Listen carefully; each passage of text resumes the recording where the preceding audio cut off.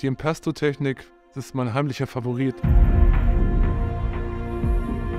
Bedingt halt dicke Farbe mit rauen Strukturen, Emotionen, die mit Schwung aufgebracht werden und die mit Feuer und bunten Farben auf die Leinwand gebracht werden. Vincent van Gogh war ein wahnsinniges Genie. Seine neuen Techniken und seine Art, wie er seine Farben aufgetragen hat, hat uns sehr inspiriert. Deswegen ist er für uns ein Vorbild.